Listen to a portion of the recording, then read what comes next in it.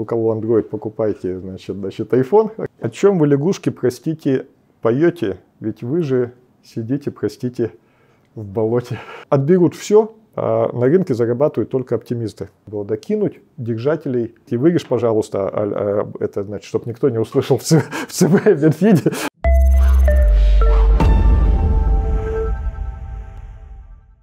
Рад всех приветствовать э, в дилинге Селиуса. Вам тоже э, всегда приятно к вам заходить, вот, потому что вы так активно хлопаете. Вот. Ну и э, давайте тогда по сегодняшней теме. Сегодняшняя тема, что такое не везет и как с ним бороться. Вот. А если точнее, инфляция и как ее победить. Э, в процессе э, планирования мероприятия э, было скинуто ровно 10 вопросов. И в каждом из вопросов инфляция, инфляция, инфляция, инфляция, еще раз инфляция, да, с разных сторон.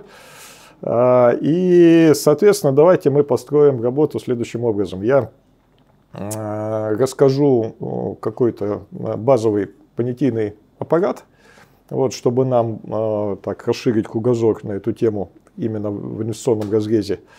И потом отдельно пройдусь по вопросам. Ну и те вопросы, которые уже будут у нас в порядке дискуссии, мы их отдельно уточним, разберем тогда. Готовы? Поехали. Вот. Ну, по поводу инфляции, то есть очень много на сегодняшний день дискуссий, какая инфляция, то есть мы смотрим, э, значит, Росстат, и там инфляция у нас 8%, 8,4%, открываем сайт ЦБ, у нас там э, инфляция там тоже на этом уровне, когда смотрим на ключевую ставку, она 19%, да, хотя должна быть на уровне инфляции, вот. А ФРС измеряет инфляцию по а, стоимости бутерброда значит, в Макдональдсе, Бигмага. Вот. Эльвира Набиулина по стоимости кастрюльки борща, значит, у нее борщевой набор. Вот. А вопрос, конечно же, э, в том, какая, какая реальная инфляция. И здесь я э, хочу э, настроить всех, да, что инфляция у каждого своя. Да, это исключительно личная дело. И э, почему своя? Да потому что когда мы берем какой-то стандартный потребительский набор, да, ну тот же самый там э, гамбургер, ну вы часто едите гамбургеры, да, или вообще э, какая доля в вашем бюджете этих гамбургеров? Ну кто-то каждый день, да, там на завтрак, на обед и на ужин. Вот, мы их, значит, со счетов не берем, да, но нормальные люди, да, питаются и имеют бюджет потребления иной, и э, ну, давайте вот несколько моделей рассмотрим. Да? Значит, э, человек, который э, пенсионер, да, у него как, какой бюджет потребления? Коммунальные услуги, да, продукты питания, все у него уже есть. Да? Значит, а чего нет, он заштопается, да, значит, или достанет из чулана. Да? Молодая семья, которая арендует квартиру, абсолютно другая история. Да? Семья без детей, семья с детьми – а, человек, который ездит на а, Ладе Калине и человек, который ездит на BMW. Да? То есть это абсолютно разные истории. И а, для того, чтобы понимать, какая инфляция, то мы должны прибегнуть к простой схеме, да, основе политэкономии, которую у нас Карл Маркс еще значит, пропагандировал. А, потом Ленин. И в целом, да, это основа экономики, причем экономики и макроэкономики, и экономики на уровне бизнеса и на уровне отдельного домохозяйства. Вот. А пирамида очень простая. Учет, анализ, контроль. Вот. До тех пор, пока мы не учли свои личные издержки, вот, как постоянные, так и переменные, а, и не просто учли, да, вот сколько вот там, значит, зарплата, сколько я потратил, а, то есть все деньги кончились, да, уже, значит, к 20 числу, да, до, до получки еще, значит, две недели.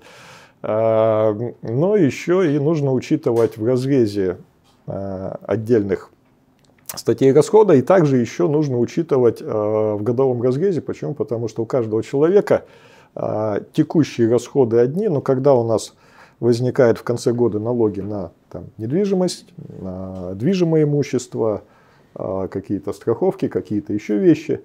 Или, э, допустим, как какой-нибудь, да, там 8 марта, да, когда нужно всем э, знакомым и незнакомым девушкам подарить цветы, да, то есть это там, э, значит, а их много, да, там это другая статья расходов, там подарки на Новый год.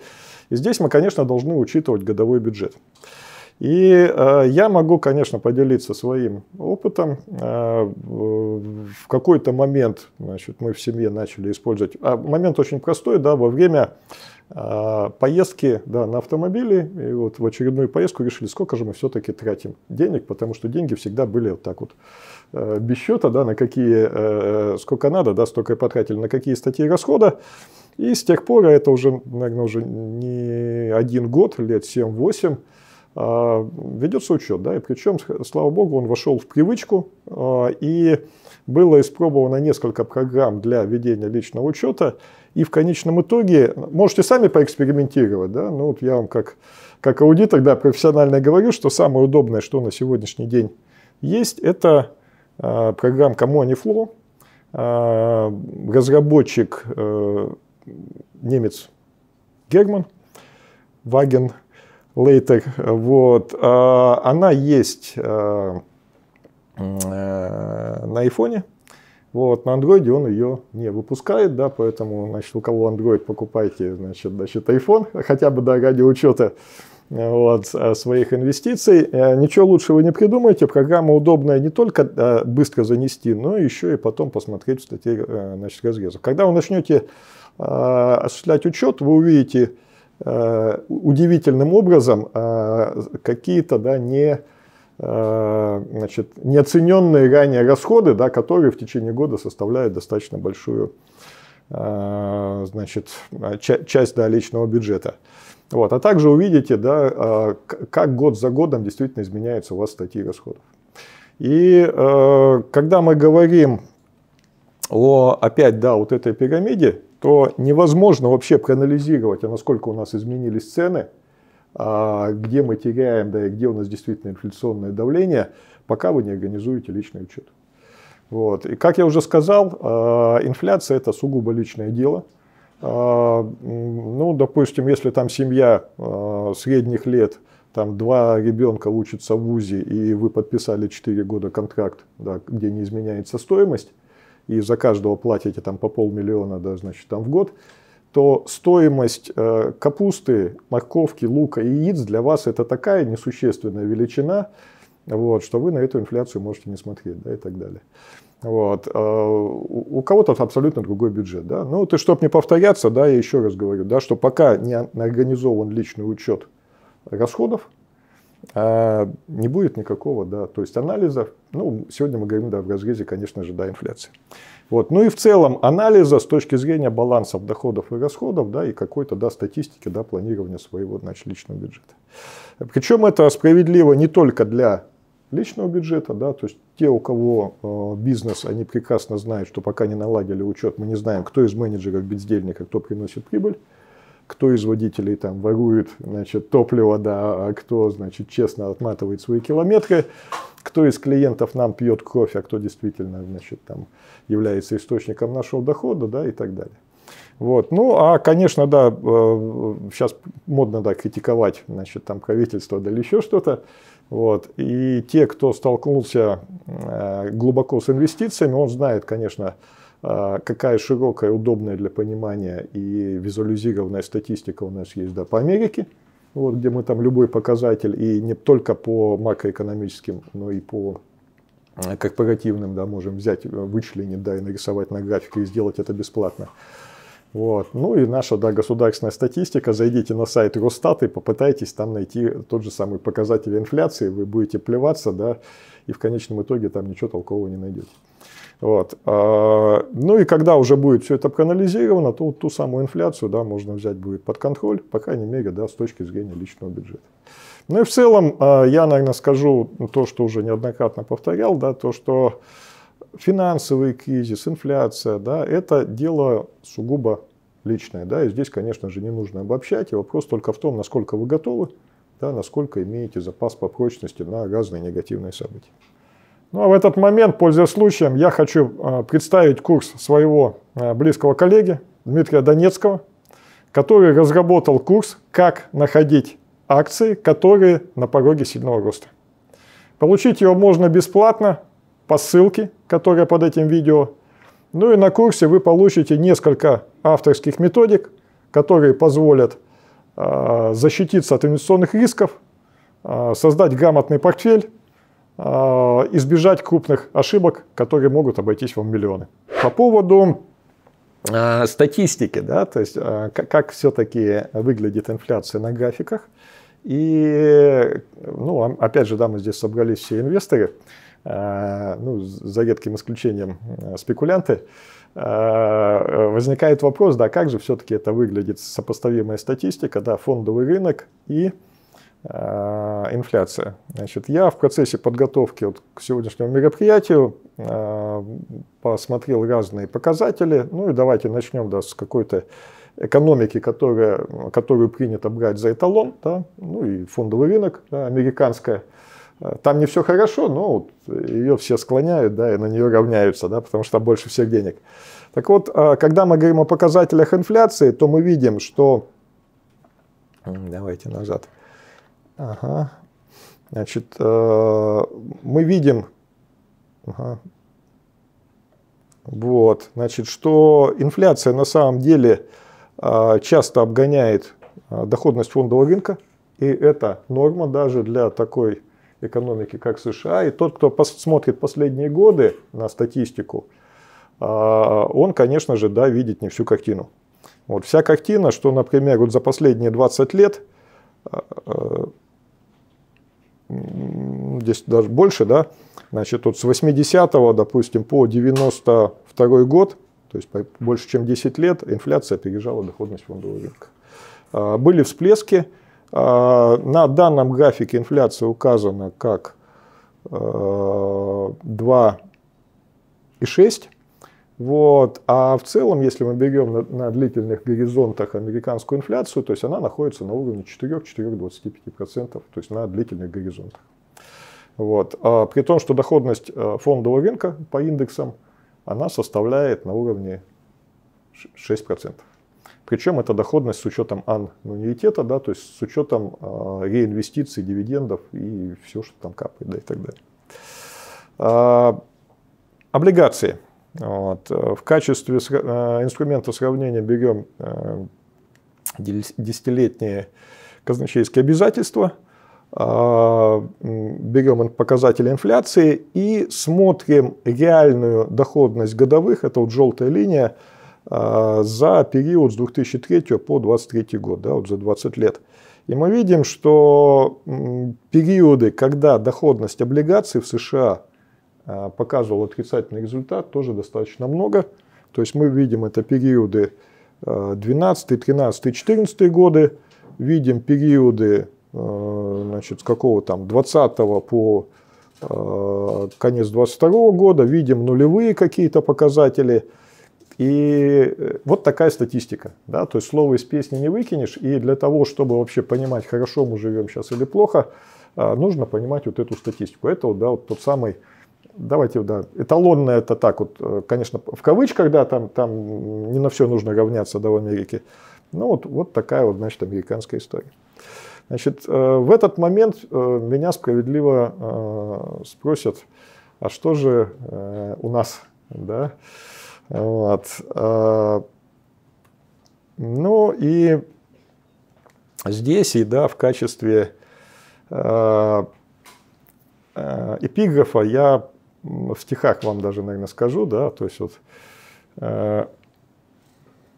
о чем вы, лягушки, простите, поете, ведь вы же сидите, простите, в болоте. Лягушки сказали, а то мы поем, как чист и прозрачен родной водоем. Да? И вот я тоже как вот э, поговорю сейчас о лягушках, о инвесторах, о болоте и о российском финансовом рынке.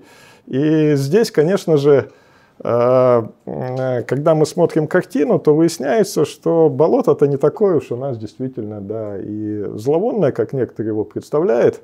И э, спасибо ребятам из Доход.ру, да, которые, наверное, э, немногие, вот, а более того, э, я скажу, что на сегодняшний момент единственный, да, кто ведет достаточно грамотную, просветительскую работу с точки зрения реальных показателей фондового рынка. И вот эту таблицу, да, ну, Дмитрий, да, э, значит, конечно, уже видел, да, мы в прошлом интервью э, ее уже рассматривали, э, но сегодняшнюю тему, тему инфляции, я без этой таблицы опять не могу значит, провести. Опять, более того, да, кто-то кто, -то, видел, не обратил внимания, да, прошлый ролик, да, кто-то не видел, и ему это будет полезно. Вот. А я давайте сейчас еще раз э, прокомментирую эту табличку. Ну, во-первых, да, что здесь нужно понимать, да, то есть, э, что есть, это есть показатели инфляции за каждый год на протяжении последних 20 лет э, с 2003 по 2023 год. Закончится 2024 год, и можно быть уверенным, что наши коллеги эту таблицу обновят, и мы увидим э, текущие показатели. Так вот, инфляция у нас от там, 13 до 3 процентов, даже 2,5 у нас где-то было, да, какой-то год, там, 17 э, год. Но в среднем 8,4 процента. То есть вот реальный показатель инфляции. Много это или мало? А для сравнения хочу сказать, что девальвация рубля за тот же период, она примерно относительно доллара – те же самые 8,4%. Да? То есть, поэтому вот, э, валюта, да, инфляция это примерно одного э, уровня показатель. Э, особенность текущего момента это высокие ставки по банковским депозитам. Э, ну, там называются 20 и так далее, но если вы реально придете в банк, под эти ставки разместить на длительный период, конечно же, не получится, да, там банки мухлюют каждый по-своему, ставка где-то на текущий момент, да, там где-то ну, не 16, 17, там может быть 18 процентов. Если хотим, э, хотим надолго, это будет значит, там поменьше. Э, ограничения по сумме, ограничения по выводу и так далее. Так вот, доходность банковского депозита за тот же период 8,2%. Вот. И э, мы видим, да, что депозит банковский, он позволяет в целом сохранить капитал, Однако есть потеря да, этого капитала э, темпами, э, ну, ну, сколько там, да, вот 0,4, да, там, ну, чуть-чуть, да, чуть-чуть мы отстаем. Причем э, я похожие таблицы сам составлял и для американского рынка акций, да, то есть тоже примерно на похожие периоды, там 20-30-летние. И абсолютно такая же история. Если мы имеем период низкой инфляции, то банковский депозит на уровне Э, доходности депозитов, либо чуть-чуть ее превышает. Если э, любая экономика, российская, европейская, там, турецкая или американская, сталкивается с периодом э, всплеска инфляции, доходность э, банковского депозита отстает от уровня инфляции. То есть это э, не единожды на разных временных периодах было э, отмечено статистикой. А, другая история – это э, облигации. Значит, и в данном случае смоделирована история, да, когда наш инвестиционный портфель состоит из доли акций, доли облигаций. И вот эта линейка, да, колоночки, они показывают, насколько доля акций э, увеличивается, настолько доля акций облигаций уменьшается, и какую доходность дают разные типы портфелей по соотношению инструментов с фиксированной доходностью и инструментов э, рискованных, таких как акции, э, в различных пропорциях. Ну и вложения в облигации, в данном случае это ОФЗ, дают 8,7%, да, чуть-чуть выше, чем уровень инфляции.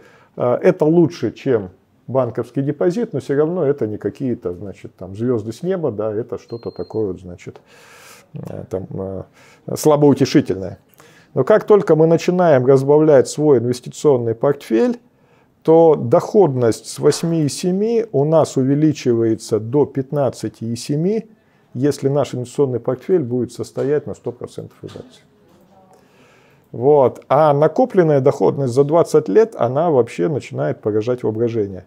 А инфляционная составляющая э, составляет у нас сколько? 440 5% это накопленная инфляция за 20 лет.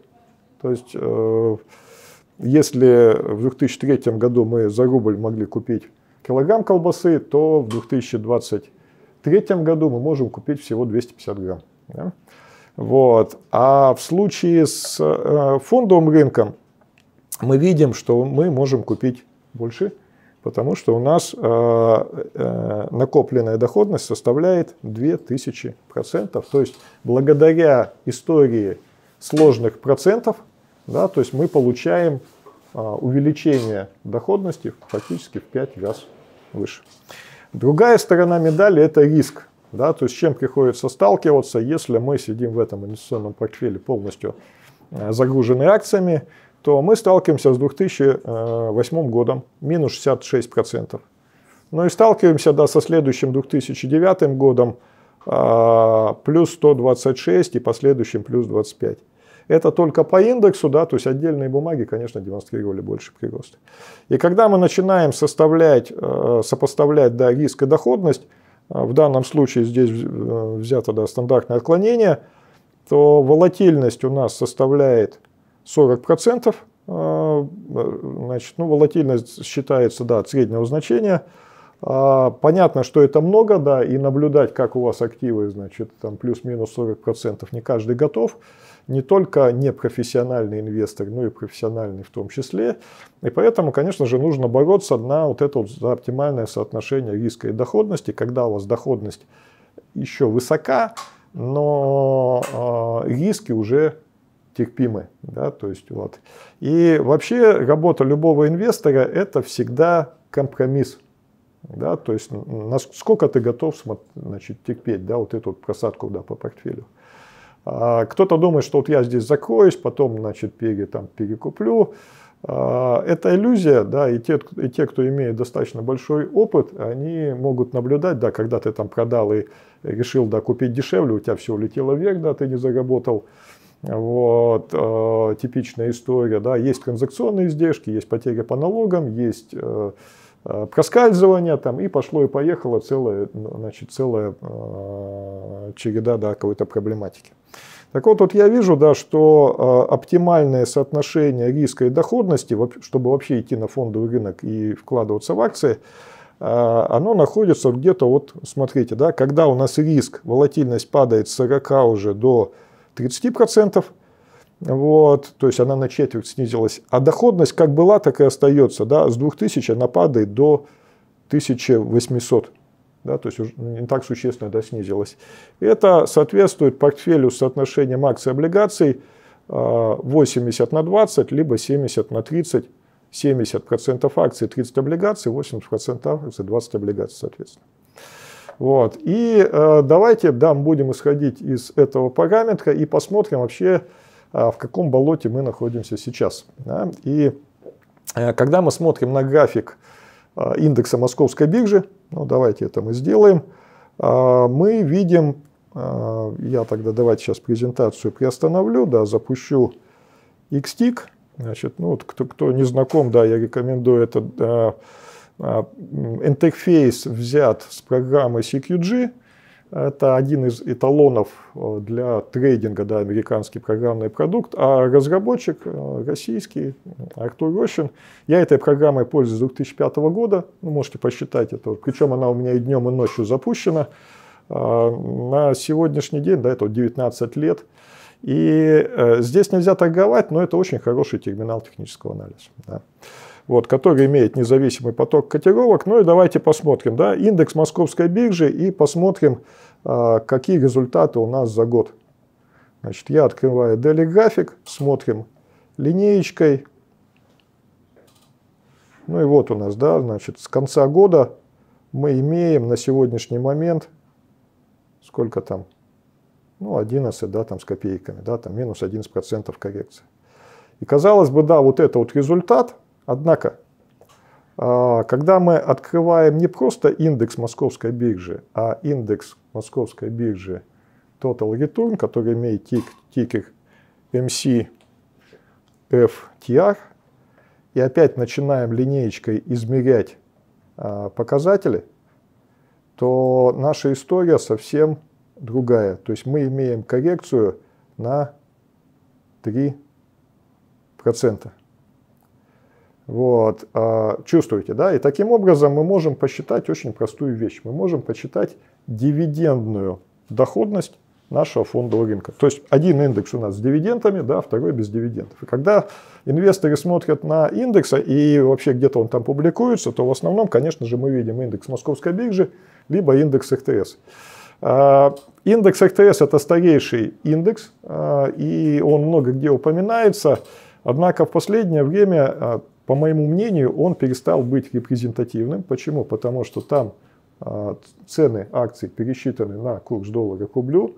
И все было бы хорошо, если бы у нас курс доллара к рублю имел рыночное ценообразование. Но с недавних пор доллар у нас не торгуется на московской бирже.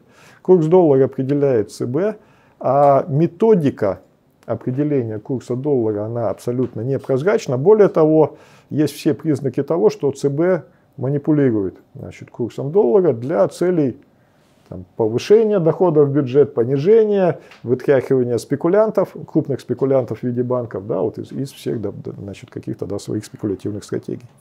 И поэтому давайте, да, мы будем привязаны к какой-то локальной валюте, к рублю. Вот. Как только у нас появляется еще одно измерение, то есть у нас появляются в первую очередь риски.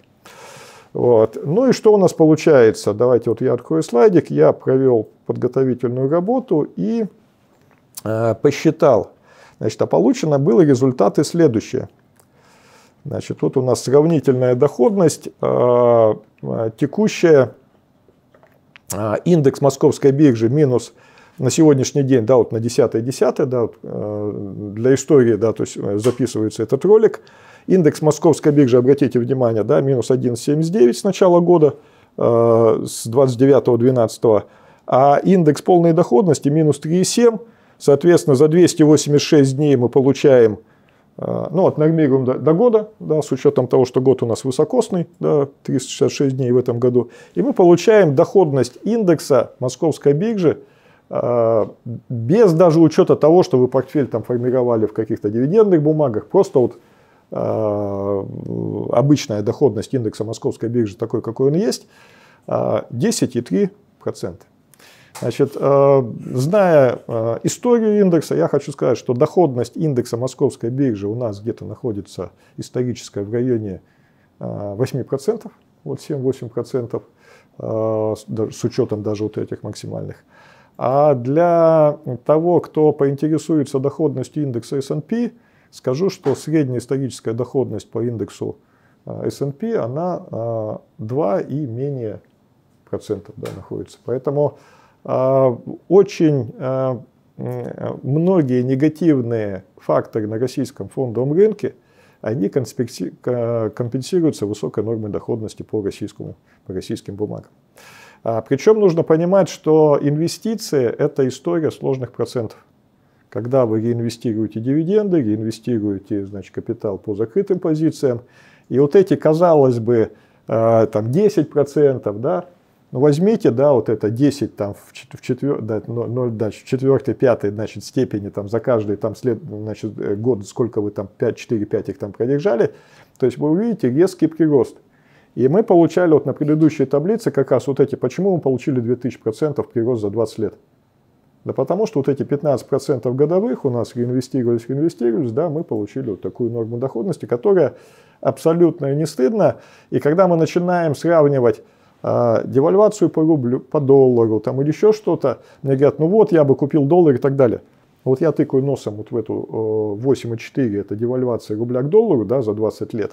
Потом говорю, ну возьмите вы, значит, степенную функцию, там, э, эти 2% да, вы продисконтируете, значит, за эти 20 лет, и вы останетесь далеко э, там где-то сзади да, относительной доходности российского фондового рынка. Э, вот так. Другая история актуальная текущего момента – это доходность L э, ну, инструментов да, денежного рынка и очень популярные на сегодняшний момент фонды денежного рынка, самый массовый из которых это ВТБшный LQDT. Вот. Э, ну и давайте посмотрим, а что же у нас с этим LQDT. Мы тоже его сейчас найдем, где он тут. Вот. Ну вот он сегодня вырос, LQDT. А, Когда вот мы видим вот такой график, да, который там по экспоненте э, растет в гору, кажется, да, вот супер доходность. Но как только мы начинаем а, линеечкой измерять, аж какая же здесь у нас все-таки реальная доходность, то реальная доходность-то у нас сколько там? Ну вот на уровне да, 13%. Ну здесь сюда на экране и мышкой, да, я точно э, э, от, от открытия до закрытия э, значит, не проведу, но э, вот той таблице, которую вы видите, доходность ЛКДТ да, 13,2% с начала года, от нормиров мы получаем 16,8%. Это текущая доходность с начала года тоже тех же самых инструментов фондового рынка. И, возник, и сейчас да, вот это поверье массовое, да, по, а, что все, все, значит, там свои активы, вот я вложу и так далее, ну и получите вы свои 16,8 доходностью. 17, а, э, ладно, округлим. А теперь давайте считать цифры. Вот. А, ставка рефинансирования у нас 19. Ближняя доходность по ближнему ФЗ 19,5, по дальним там, понятно, поменьше. Вот. А вы теряете 2% от э, доходности облигаций. Вот на эти 2% ВТБ и Значит, когда на эти 2% и живу, да, как в анекдоте, да, старом, вот, на что ты живешь. Вот. А, и вот эти вот 2% у нас появляются. Поэтому, а, когда мы начинаем сравнивать вот эту только ДТ с доходностью биржи, а доходность у нас, смотрите, 10,3, доходность у ФЗ максимальная у нас там э, ну, 19,4, э, там 18 с копейками, ну где-то такие вот с горизонтом на 2-3 года, то есть мы вполне можем сформировать портфель да, с доходностью 19%, купонной доходностью по ОФЗ. А теперь мы сопоставим, обратите внимание, вот это, да, портфель, где мы говорили, что оптимальное соотношение риска и доходности где-то 80 70% акций, остальное облигации, и смоделируем, а какую же доходность нам показывает этот портфель. Так вот, портфель, если у нас 70% акций, 30 облигаций показывает 12,9, где у нас здесь АФЗ 19 да, дает доходность, вот эти 30%, вот, и дивидендная доходность 10,3. А если у нас риск побольше, облигации поменьше, то 12%. И когда мы сравниваем 13% против 17% по LQDT, то мы видим, что в принципе это э, не все так плохо, как может показаться э, на первый взгляд в нашем болоте. А, чего, конечно, немногие могут э, понять и оценить, да, это вот то, что текущая да, оценочная стоимость портфеля, вот, исходя из текущих котировок это, с одной стороны, да, это справедливая стоимость портфеля а, в случае его моментальной ликвидности.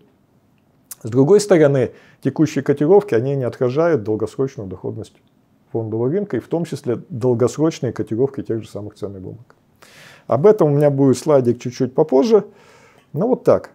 И поэтому, когда мы говорим о э, инвестициях э, на фондовом рынке и составлении инвестиционного портфеля – по классическим нормативам, то не все так плохо, как может показаться на первый взгляд.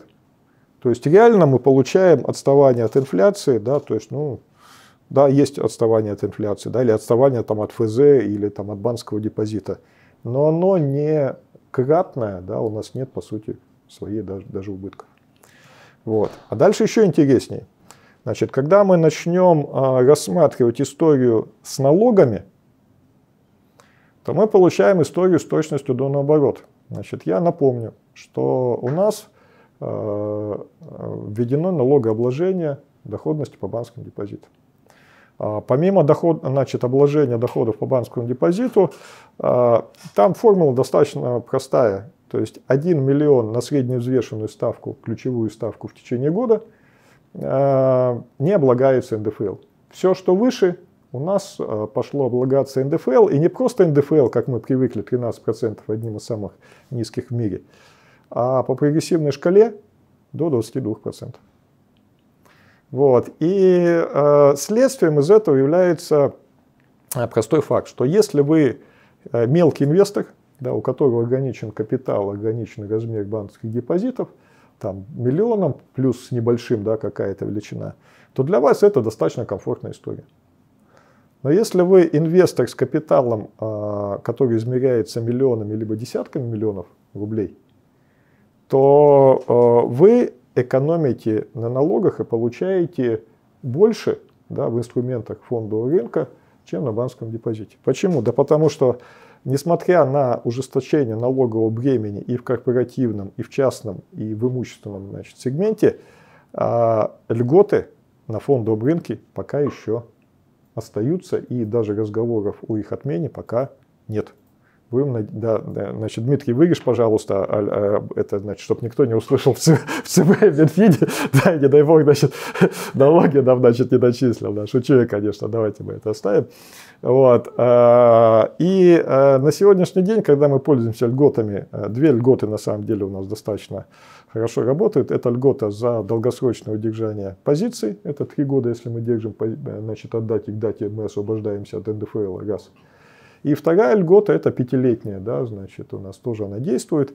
Единственное, что там в первом случае там могут быть и репо, и какие-то другие, значит, вещи, да, во втором случае у нас э, должен быть отказ от репо от сделок. Вот. А в случае с депозитами мы получаем НДФЛ, и от которого никуда не денешься, и никаких там льгот и вычетов нет.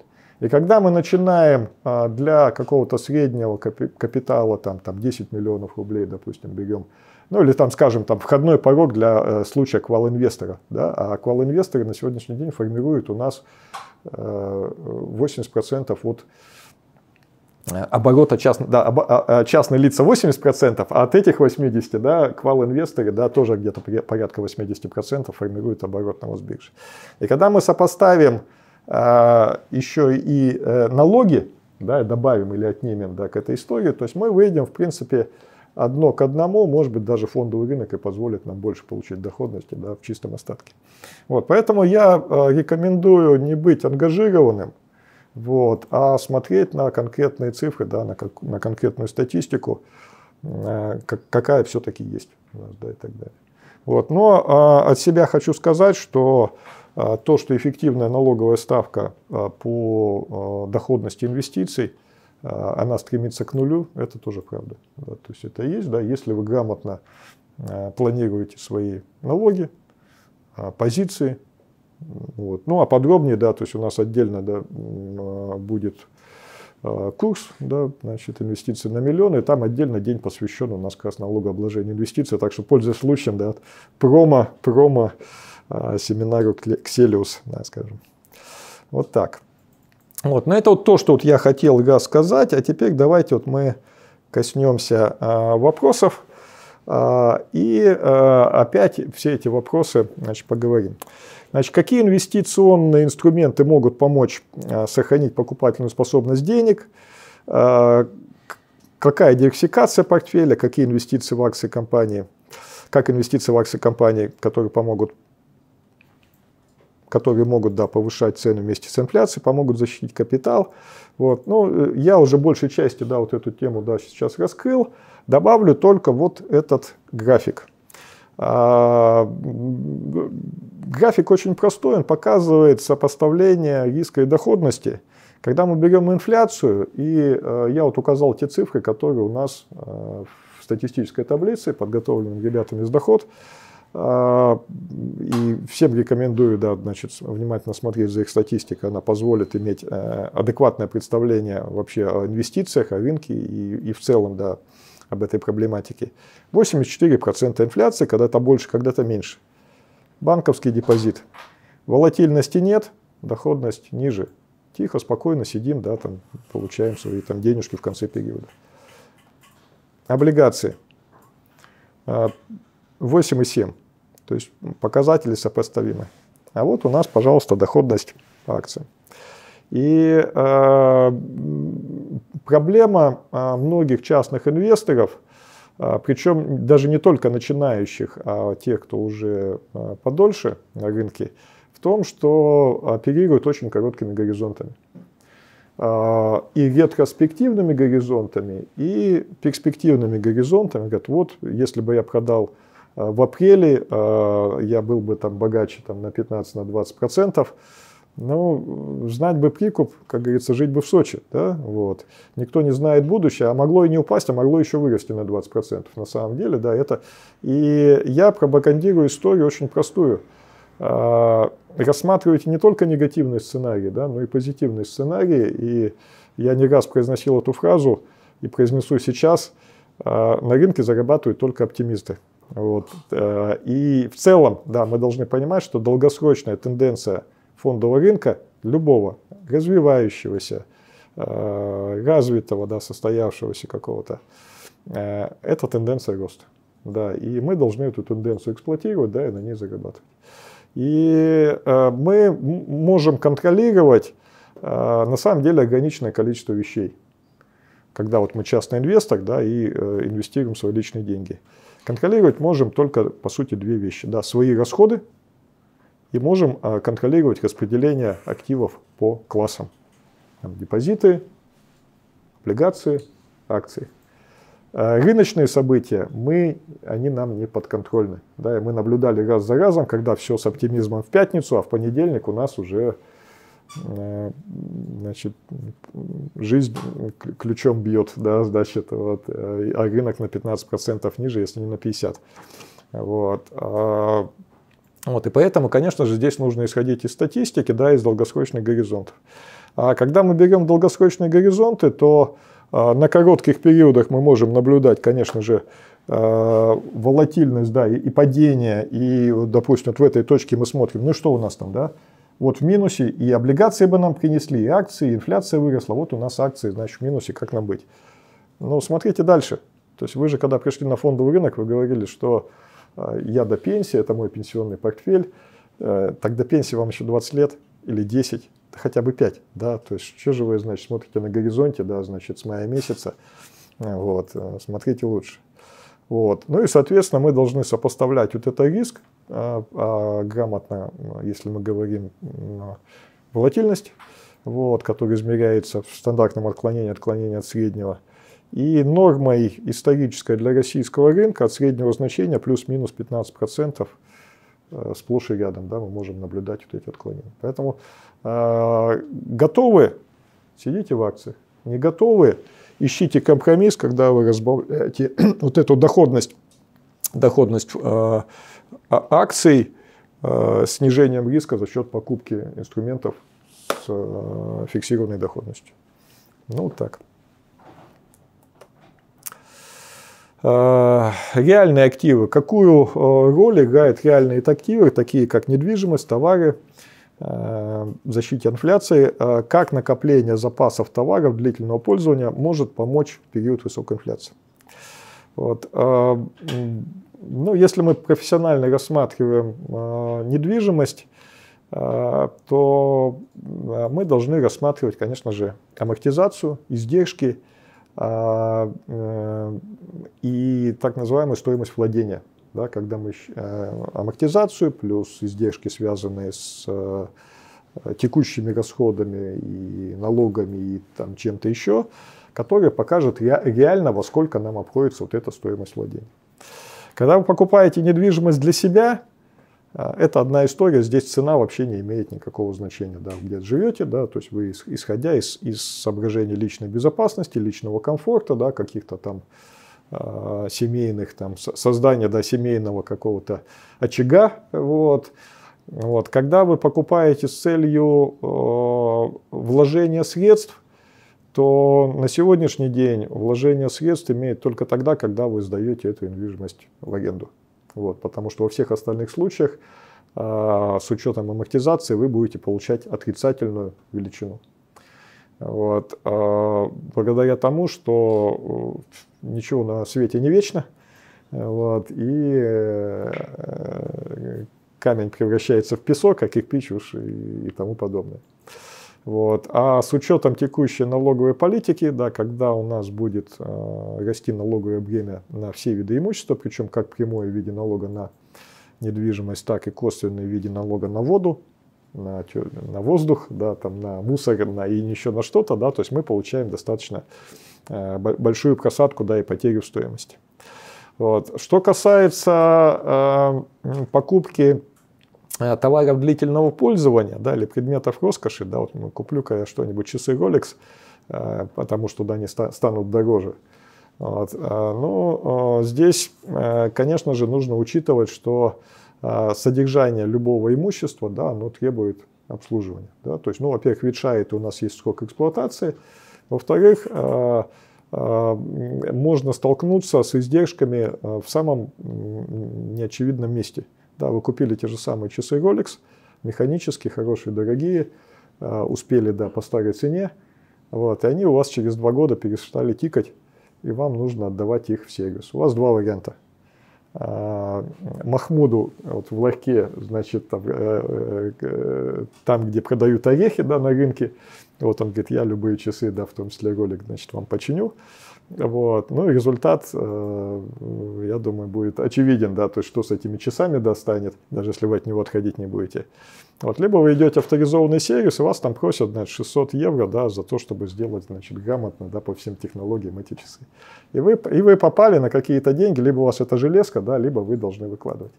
И поэтому, э, конечно же, э, когда мы говорим про реальные активы, то здесь нужно смотреть, а какие же у нас издержки тянут тянут вот эти активы. И в случае с кризисом, конечно же, мы должны а, сокращать долю вот этих постоянных расходов, которые у нас а, вытягивает, да, вот вытягивает недвижимость, да, коммунальные услуги, налоги, да, и пошло и поехало там. А, машина, да, значит, все, кто э, имел иностранные машины до 2022 года, вот, они столкнулись со стоимостью запчастей, сервиса да, и так далее. И, э, э, ну да, машины стали в два раза дороже. Но обслуживание стало в четыре раза дороже. Да. Э, счастливые мы обладатели иномарок по старым ценам или нет? Большой вопрос. Вот. Э, у моего отца четверка. Вот. И когда он меняет своими силами значит, полуось в гараже Э, со старой, рассыпавшейся на новую за полторы тысячи рублей. Вот все соседи по гаражам, у которых иномарки, они ему завидуют, да, и так далее. Вот, и поэтому э, кто-то скажет, да, я там не э, буду ориентироваться на пенсионера и так далее, но это тоже вот один из вариантов, о котором нужно задумываться, да, то есть если мы попадаем в какой-то период э, турбулентности, да, экономической, то ну, борьба с инфляцией это в первую очередь сокращение да, вот своих каких-то издержек. И э, история в чем? Да, не в том, что там все стало дороже, а можем ли мы сохранять вот этот самый э, бонус, да, когда мы заработали деньги, потратили, у нас что-то осталось, что мы можем отложить, реинвестировать, да и так далее. Если нет, э, вы в болоте, да.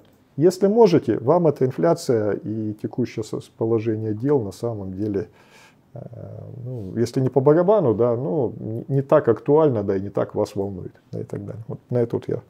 Вот, поэтому здесь, конечно же, нужно смотреть, да, амортизацию издержки, вот, но это отдельная тема, вот, она на самом деле тоже в одном из семинаров Кселиусов разбирается. Значит, недвижимость. Э, в случае с недвижимостью э, Статистика говорит о том, что э, недвижимость растет опережающими темпами в цене при всплеске инфляции. Э, и на этом фоне мы наблюдаем падение э, индексов акций и э, облигаций. Но облигации в меньшей степени, акции в большей степени корректируются. Поэтому э, недвижимость является э, в классическом случае, это, э, конечно же, а, одним из элементов диверсификации а, в инвестиционном портфеле, да, в личном капитале. Речь идет, опять же, да, о доходной недвижимости, да, то есть той, которая, которая у нас дает положительный денежный поток. А, проблема, конечно, с недвижимостью в том, что она требует достаточно крупного капитала, вот, и ну, не, не всем доступно. Да, то есть ну, какой-то категории доступно, поэтому здесь, конечно же, тем, кому доступно, мы значит, можем поаплодировать, да, то есть, значит, действуйте в том же духе. Вот. А по поводу личного бюджета, да, значит, в качестве тех вопросов, которые э, фигурировали перед сегодняшним перед сегодняшней встречей, да, как правильно составить личный бюджет, чтобы минимизировать влияние инфляции на повседневные расходы, какие стратегии управления долгом могут быть полезны в условиях растущей инфляции – вот. Ну, личный бюджет, на самом деле, это тоже отдельная тема. А, и она тоже где-то раскрывается, и вы можете найти это и в открытом доступе, да, и в закрытом, да, и за деньги, и в книжках. Вот. Но сейчас я скажу следующее. То, что а, и в целом это классический случай. И я наблюдаю раз за разом что э, в любой момент всплеска инфляции, да, в кризисной ситуации, нельзя иметь долги. Вообще их лучше не, не иметь. Вот, если мы говорим о личном бюджете, да, инвестиционном. Причем, а, как в частном случае маржинальное плечо на а, фондовом рынке, да, в ценных бумагах, я наблюдал неоднократно, как маржинальное плечо полностью убивало капитал. И даже если инвестор не поймал какой-то резкий обвал, как это 2008 год, как это было в 2022 году, как это было в 2014. Ну, то есть у нас с периодичностью раз в 2-3 года да, что-то такое случается. Вот, и в этот момент да, теряется очень много капитала. Производные финансовые инструменты – это другая история, да, это спекулятивная, да, внутридневная, мы сюда ее не относим, хотя там маржинальное плечо зашито. Вот так. И поэтому а, классическая история – это не нужно иметь долгов, а если вы вляпались с долгами в какой-то период кризиса, то все силы должны быть, конечно же, покашены на направлены на погашение долгов. Вот так. Вот. Вторая история – это а, наличие резервного фонда, э, вот этого фонда, да, значит, который позволит где-то в какой-то момент перестроиться, да, то есть не всегда нам очень быстро удается пересмотреть личный бюджет, да, какие-то баланс между доходами и расходами, что-то может случиться там, с бизнесом, с работой, на которую вы ходите, да, там, с какими-то там, другими историями, связанными с форс-мажором. Вот, поэтому резервный фонд, он, конечно же, э, позволит э, достаточно комфортно да, какие-то встряски пережить. Вот. А, и когда мы говорим о инвестициях, то есть основные проблемы, да, почему люди разочаровываются в инвестициях, почему они очень э, некомфортно значит, э, переживают да, коррекцию на фондовом рынке. И в целом можно обобщить вот эту всю историю очень просто что у людей э, нет резервов, у них есть долги, а у них нет источников дохода. Вот, то есть они не, они не могут э, переждать вот это, да, какую-то, да, там, коррекцию спад на фондовом рынке. И успех на фондовом рынке, э, ну, опять же, да, те, кто уже прошел через огонь, воду, медные трубы, он подтвердит мои слова, связан а, не с тем, как вы там правильно инвестируете, неправильно, а как правильно вы организовали свой личный бюджет. Вот это основа, а, это основа основ.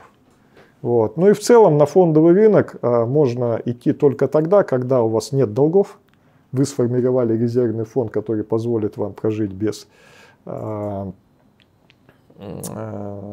значит, дохода каких-то источников дохода от полугода до года, да, а кто-то закладывается, говорит, я, вот я буквально вчера общался с человеком, он говорит, ну вот все рекомендуют от полугода до года, у меня на два года отложено, да, то есть вот так, да, то есть человек э, работает по найму, да, то есть он высокооплачиваемый менеджер, э, вот так вот он подошел. Те, у кого нет сбережений источников дохода, либо они нестабильные, конечно же, да, они видят, что деньги тают в руках, капитал тает, вот я бы там вложил депозит и был бы совсем другой историей, ну, вот так.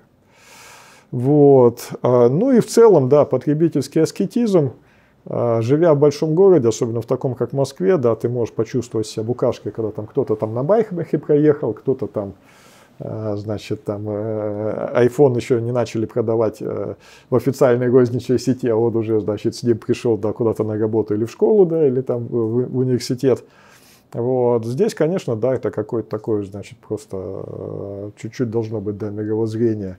Э, как бы вы ни были богаты и шикарно одеты, и какая у вас машина, всегда найдется тот, кто будет дороже, богаче, э, и яхта длиннее у него, да, и машина, да, круче. Поэтому здесь какие-то, значит, ну, должны быть личные, да, установки, потребительский аскетизм, когда мы не значит, необходимый и достаточный получаем э, комплекс да, благ да, в виде там, жилья, продуктов питания, да, еще чего-то. Ну, а остальное, да, это оно позволяет нам чувствовать комфортно, да, пережить вот какие-то да, смутные времена, да, в том числе те, в которых мы сейчас находимся.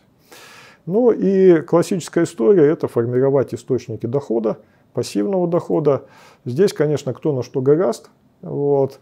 А, классическая история, да, историческая, это а, недвижимость, с, а, которая сдается в аренду. И тот, кто читает билетристику, в частности, ну, не знаю, как сейчас, да, то есть, ну, где-то 10 20 лет назад, да, когда на российском фондовом рынке инвесторов всего было 80 тысяч, а не 32 миллиона, как сейчас, а активно торгующих было всего 10 тысяч человек, да, который совершал сделку хотя бы один раз в месяц. Вот. Была популярна книга Джесси Левермора – и там мне запомнилось, э, это один из э, признанных, э, ну, называют великим, да, спекулянтов, американским, да, начала прошлого века. И у него в книге присутствует такая фраза, да, я устал периодически испытывать банкротство, нужду, и поэтому я купил ренту себе, своей жене и своим детям. Да, вот так вот. И человек, да, то есть получил источники дохода, и он может отойти от рынка тогда, когда у него там нет э, возможности торговать. Вот, э, когда да, он столкнулся с какими-то убытками и так далее. И это типичная история. Ренту можно сформировать, понятно, да, э, на недвижимости. Можно сформировать ренту через банковский депозит, почему бы нет, да. Вот. Но деньги будут у нас да, проседать да, здесь. Вот. В случае с недвижимостью, недвижимость все-таки она защищает от инфляции.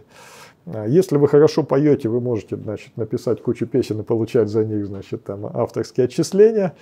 Если хорошо пишете кучу книг, если вы инженер, да, что-то там зарегистрировать патент, вот. А, есть другие источники да, дохода. То есть, допустим, вот я знаю парня, который инвалид, работает из дома программист, у него есть несколько сайтов, где там капает, капает ему там по чуть-чуть, и он чувствует себя достаточно комфортно. Вот. Хотя, казалось бы, да, то есть э, человек да, ограничен в целом в возможностях относительно э, ну, какого-нибудь среднестатистического, да, там человека средних лет.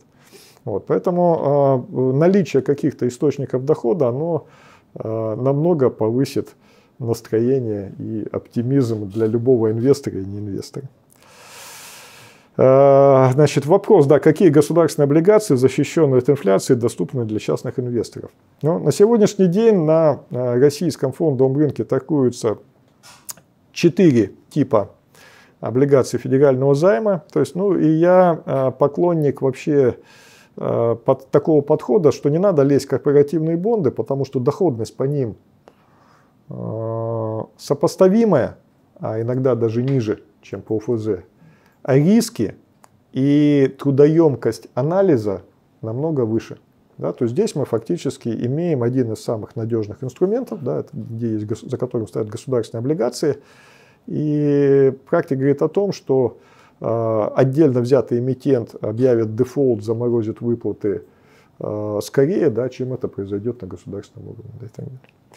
Вот, значит, какие у нас есть э, типы ОФЗ? Ну, традиционные, да, значит, с постоянным доходом ОФЗ ПД, это, вы увидите их по 20, э, да, это 26 серия, 26, 25 иногда редко встречается. Это основные э, типы облигаций, они корректируются по цене, они, в принципе, соответствуют э, текущей рыночной доходности. Как я уже сказал, по 26 серии на сегодняшний день это Э, с горизонтом на год 2-3, где-то ну, на уровне 19 и более процентов, 19,4 да, и так далее. Вот. А, значит, АФЗ индексируемый по инфляции, да, причем по инфляции индексируется тело.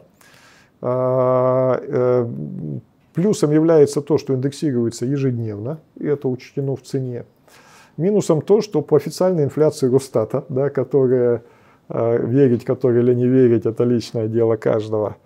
Вот. еще плюсом э, является то, что у них доходность 20%, э, с половиной процента от номинала, и благодаря тому, что процентная составляющая относительно небольшая, они имеют меньшую чувствительность к процентной ставке, то есть волатильность этих бумаг в случае изменения роста процентной ставки, чем традиционный выпуск, да, значит, 26 серия с постоянным доходом. Э, они тоже, да, значит, учитывают ключевую ставку, и если бы там учитывалась инфляция полностью справедливо, они бы всегда торговались по номиналу, да, мы бы получали вот эту, значит, свои 2,5% купона, были бы счастливы. Да? То есть они тоже корректируются, да, сейчас там, там дисконт там, от 10 и более процентов, а, почему? Потому что они учитывают ну, да, то есть высокую текущую процентную ставку, да, и дисконтируются, соответственно, на то относительно того состояния рынка, когда они выпускались. Есть у нас с переменным купоном. Значит, как правило, эти облигации привязаны к ставке Russian Overnight Index Average, то есть это ставка на межбанковском э, рынке, и плюс к ней добавляется 0,3 от 1,3 до 1,6%. Э, это любят да, банки такие облигации покупать. Я с уважением отношусь к этим облигациям, но так как я не из э, банковского сегмента, да, вот, то мне очень сложно анализировать то, что там проходит у них значит, между этими банками, да, какие-то там тенденции. Поэтому лично я да, э, на двух вот этих вот, значит, типах облигаций да, с переменным доходом и индексируем по инфляции, да, то есть концентрирую свой портфель. Вот. И есть еще э, уходящий тип ОФЗ, есть э, ОФЗ с амортизируемой, с амортизацией долга, да, где э, тело погашается по графику там, с какой-то периодичностью. Это 46 серия. Ну, таких облигаций очень мало, да, и ликвидность там низкая, потому что они давно достаточно уже были выпущены, да, и постепенно они с рынка вымываются. Вот, поэтому э, классическая история – это индексируемые по инфляции облигации – первые индексируемые по инфляции облигации были выпущены э, Банком Англии. А, произошло это более 200 лет назад. Они до сих пор торгуются, и до сих пор можно по ним получать значит, значит, купон да, и индексацию. И так далее. Вот так.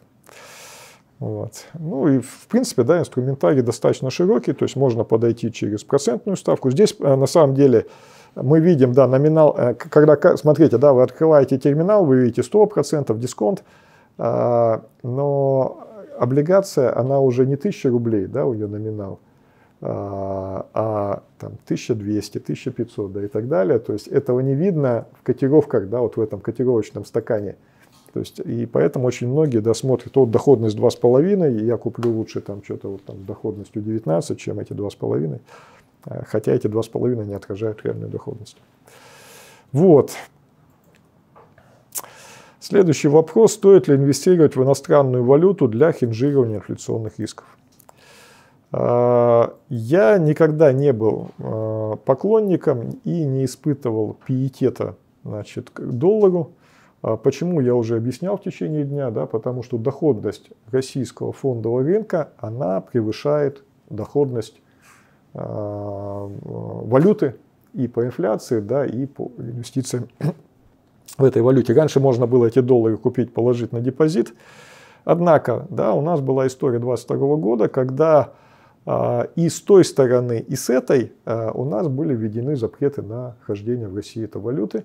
И а, ну, вот на, на, в прошлом да, дискуссии, да, Дмитрий, с тобой мы вот этот открывали график, диаграммку. Кто не видел, туда загляните, посмотрите как в 2022 году резко значит, был сброс валюты с депозитов, э, э, и валюта пошла, э, конвертирована в рубли, да, и рубли пошли на банковские депозиты, и резко выросла масса размещенных средств населения банковских депозитов. Вот. В целом, ну, притча во языцах, да, это тот самый гигантский долг, да, американский, который э, измеряется э, триллионами, десятками триллионов и на триллионы прирастает до каждый год. Вот. А, и очевидно, что такой большой размер долга, он э, никогда возвращать, то есть долги возвращать американцы не будут. Они, даже если захотят, не смогут. И здесь два варианта. Самый гуманный, когда просто они разгонят инфляцию, вот, и э, девальвируя национальную валюту, доллар, да, они отдадут долги, да, то есть э, э, дешевыми долларами. Вот. Но, соответственно, должна быть инфляция многократно. Вот. И вы, держатель долларов, э, что-то некомфортно, да, вот это все выглядит, да, на самом деле. Вот. Никто не говорит о том, что по рублю может быть да, похожая история, там, и, и по другим да, каким-то валютам, там, по э, евровалюте и по швейцарскому франку, там, и почему угодно. То есть нет никаких э, абсолютно э, значит, 100% надежных валют. И это нужно понимать. Вторая история, которую очень многие недооценивают, это то, что как можно избавиться от долга. Значит, эта история связанная с тем, чтобы, извините меня за термин, чтобы понятно было, докинуть держателей бумажных долларов.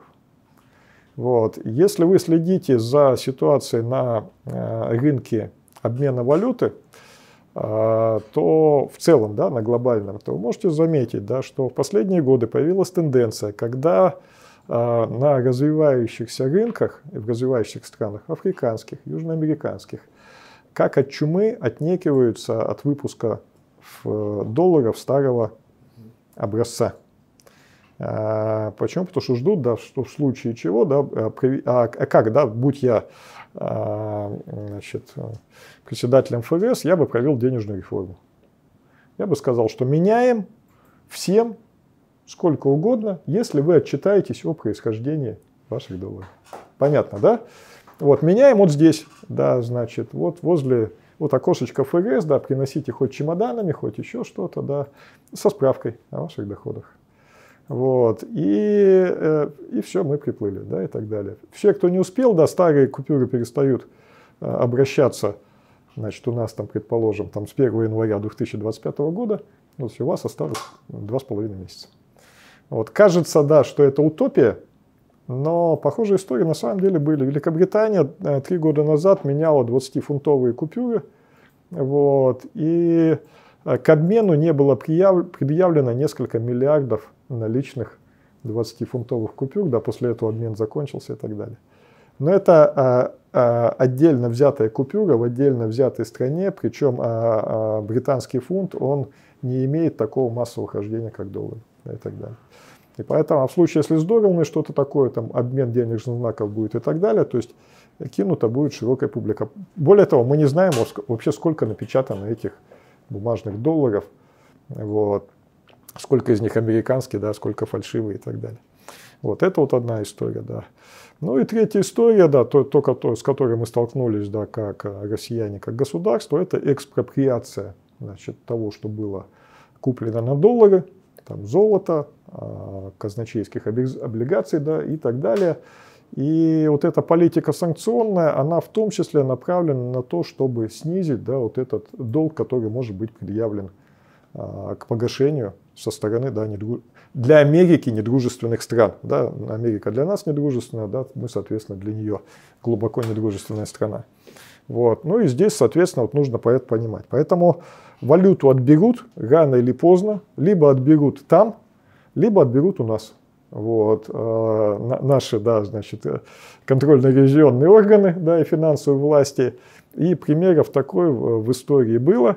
Вот. А, я напомню, что есть у нас, ну, была уголовная статья, да, в советское время, да, и до сих пор живы люди, которые отсидели по ней, значит, от звонка до звонка и так далее.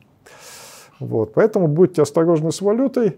А, ну и на самом деле нет ничего удивительного. Нужна валюта для поездки куда-то там за рубеж, ну купили, съездили и все, да. То есть хранить в недружественной валюте какие-то сбережения я бы не рекомендовал. Ну, следующий вопрос – это вопрос про золото. Вот, то, что не тлеет, не горит. Вот. А, альтернативные инвестиции, такие как драгоценные металлы, криптовалюты, могут быть использованы для хеджирования инфляции. А, в целом, да. Вот. Когда мы говорим о золоте, а, ну, оно известно как средство платежа более 2000 лет. Вот. И в целом рост Э, стоимости золота соответствует инфляции. Вот как локальный, так и глобальный. Э, это факт. Да, факт, который сложился. Вот. Ну, так, такой сложился миф, да, что золото это веч, вечная ценность. Э, и если 2000 лет он э, существовал, маловероятно, что он вдруг там за год, за два э, изменится и так далее. Вот. А проблема с золотом то, что нет процентного дохода Э, и э, то есть мы за что купили, за то и продадим. Но при этом у нас есть издержки, связанные с хранением. И здесь, конечно, вот я обратил бы внимание, на самом деле, да, а, на такой вот, не прямо относящийся к нашей теме, да, а вот, может быть, для спекулянтов, кто любит фьючерсы, вот, что э, цена э, фьючерсов на финансовые активы, она всегда с контанга. А стоимость фьючерсов на сырьевые товары с поставкой, она с бэквардацией. Кто-то сейчас мне попытается ткнуть носом, скажет, ну вот я открываю фьючер, значит, там на золото там, или на еще что-то там, московской бирже, да, на нефть, да. Он у нас тоже, значит, там с контанга. Но когда вы почитаете спецификацию, спецификацию то это фьючерс на фьючерс. Это вторая производная, да, это фактически фьючерс на финансовый актив. И он, а, как инструмент э, финансового рынка, он вообще к нефти не имеет никак, никакого отношения, на самом деле. Просто там на погоду он был бы там, или там на стоимость квашеной капусты, да, без разницы на что, да, и так далее. Поэтому вот обратите на это внимание. И э, вот эта история, да, которая подтверждается прямо вот этой э, баквардации по стоимости фьючерсов, она учитывает стоимость складского хранения, храны, обслуживания, Э, сырьевых товаров, металлов, нефти и так далее. Э, помните знаменитую историю, когда несколько лет назад цены на нефть упали до отрицательных величин. В России обанкротилось несколько, значит, у нас э, спекулянтов крупных, да, с, которые любили, значит, там опционы покупать, да, и так далее. А что произошло? То, что в какой-то момент один из крупнейших американских ETF Э, US Oil Fund начал регулироваться, как у него написано в инвестиционной декларации, перекладываться из ближайшего в дальний контракт. Ликвидность, а туда все понесли деньги да, на, на фоне коронавируса, то есть все стали трейдерами да, и, и инвесторами, потому что дома нечем заняться. Вот. А объемы резко выросли этого фонда, объемы капитала, чем ликвидность срочного рынка да, американского. И, соответственно, э, фонд пробил рынок, обвалил, он все выкопал, то есть он скидывал старые контракты. А те, кто а, были вынуждены покупать или не имели возможности скинуть, они были выведены на поставки. Да, и, соответственно, а ты должен выкупить эту нефть, а у тебя э, все танкеры заполнены, и стоимость у тебя вывоза, хранения и продажи оказалась больше, да, чем вот, вот эта вещь. Это вот одна из историй, которая к золоту напрямую не относится, но показывает да, всю сложность, специфику да, и риски, связанные с инвестиции в реальные активы, да, связанные да, вот там, ну, в данном случае с нефтью и золотом. Вот, и поэтому мы будем, а, либо мы храним золото дома, мы будем платить за что? Там, за сигнализацию там, и, и за молчание.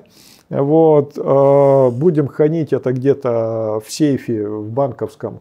Но вообще они ни за что не отвечают, да, не отвечают только, что, что никто не сломает эту значит, дверцу, а что там за ней Э, у вас было, они вообще не знают, может быть, у вас там ничего и не было. И таких случаев очень много на самом деле, когда, э, ну вот если вы эту проблематику поизучаете, не скажу, что много, немало, да, когда вдруг оказывалось, да, что э, в банковской ячейке совсем не то, что туда ложили значит, там, вкладчики.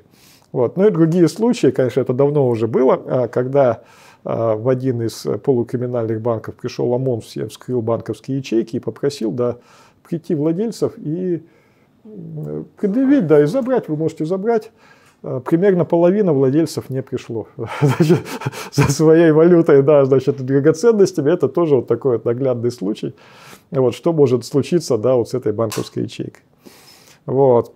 Низкая ликвидность. А, а ликвидность это что? Это возможность продать без потери стоимости а, быстро. Да? То есть, либо мы продаем долго, вот, а за это что-то нехорошее у нас может случиться. Если нужно быстро, мы должны скинуть. И риск экспроприации. Я напомню, что в России до сих пор в Уголовном кодексе есть статья, а, уголовная ответственность, статья 191 за любые сделки с драгоценными металлами, совершенные в нарушении законодательства. То есть вы не можете продать своему а, другу значит, там, детство. Вот, э, понятно, да? Вы должны только сдать в банк вот. А, мы видим, да, как а, правоприменительная практика может резко меняться. То, что вчера было еще законным, да, сегодня может быть уже незаконным, да, где-то могут отобрать лицензии, мы можем оказаться в истории, когда а, вдруг круг легальных операций с золотом резко снизится, да, то есть просто ЦБ введет ограниченное количество лицензий, организаций, которые могут покупать и продавать это золото, и мы окажемся с этим золотом не удел. Вроде оно есть, но продать мы его можем только вот в этот банк, а этот банк, знаете, как а, сейчас любят эти банки, продаем мы по рыночной цене золотые монеты, а принимаем без ограничения по номиналу. Да, и вот вы за 50 рублей вот этот золотой, значит, там, э, червонец, да, значит, можете сдать, да, и так далее. Вот. А, поэтому здесь, конечно, очень много историй, связанных с а, рисками непосредственно владения вот, драгоценностями. А, тот, кто считает, что в России все плохо, нет никакой демократии, ну, давайте посмотрим на эталонную демократию, на американскую. Вот. А кто ее плохо знает, я напомню, что в 1933 году в США была введена уголовная ответственность за хранение золота. Значит, а, можно было хранить золото в обручальных кольцах, а, и в целом на сумму не более 100 долларов США.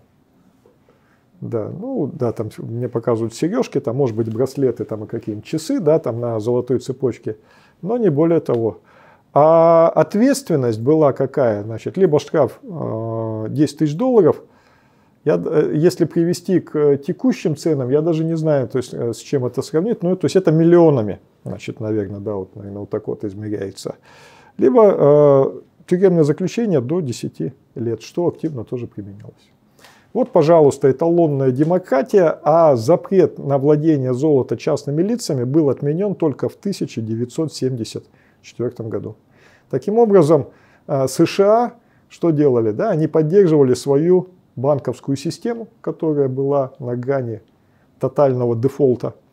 Вот. А Рузвельт, э, будучи избранным президентом, э, введя этот закон значит, о конфискации золота у населения, он сам побоялся значит, произнести вслух, что это он вел, вот, и сказал, что это не мое решение, да, он от него, значит, отнекивался. То есть вот, пожалуйста, да, эталонная демократия, вот, ну, а э, тех, кто хочет глубже окунуться, я рекомендую э, прочитать э, труд для инвесторов э, Ильфа и Петрова «Золотой теленок», а именно 36 главу, где Остап, обвешанный золотом, пошел значит, э, э, значит, через Бендеру да, к полякам в гости. Вот, и чем это все дело закончилось. Да, вот такая вот история. Поэтому золото, оно имеет да, какую-то свою специфику. А, будьте осторожны да, с инвестицией в золото. Здесь тоже риски есть, и они достаточно большие. Ну и в целом, конечно же, а, нужно понимать, что отберут все. Вот, кто-то, кто вкладывает недвижимость, а, просто забыл, что ее тоже отбирали правда, давно уже. Вот. И недвижимости вообще не было, как, как, как частной собственности да, до 90-х годов, за редким исключением. Вот. Э, ну, если не прямо отбегут, то через налоги вот, и так далее. Поэтому э, в целом, э, конечно же, да, то есть отобрать могут все, ну, и к этому нужно быть, быть готовым да, и так далее. Вот. По поводу криптовалют, ну, криптовалюты я отношу к инструментам расчетов, вот.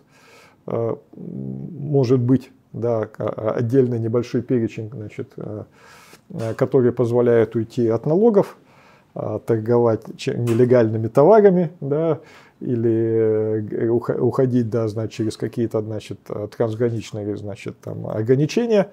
Вот. Но это или инструмент для спекуляций, вот. но это ни в коем случае не инструмент инвестиций. Э, потому что там нет никакой внутренней стоимости и нет э, традиций.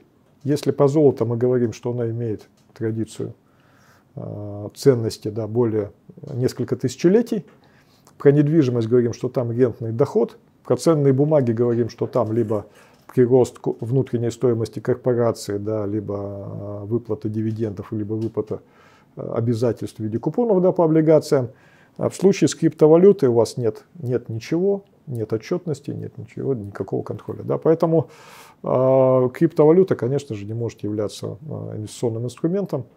Э, на, на мой взгляд. Да, я знаю, что есть значит, много да, оппонентов у меня, да, но я с ними спорить не буду. А в целом не нужно да, иметь какое-то ангажированное мнение, то есть формируйте свое значит, вот, на основе на основе то есть, вот, книг, опыта, да, то есть вот, ну, вот так, да, то есть все будет хорошо. На самом деле, э, если, если мы говорим о грамотном подходе, то ну, ну, риски, они существенно меньше, да, чем могут показаться на первый взгляд.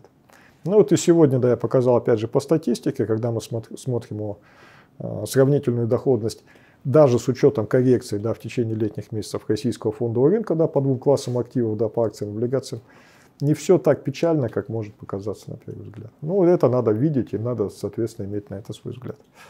Ну, вот, наверное, все, да, что я сегодня хотел рассказать вам. Спасибо за внимание. Вот. Все,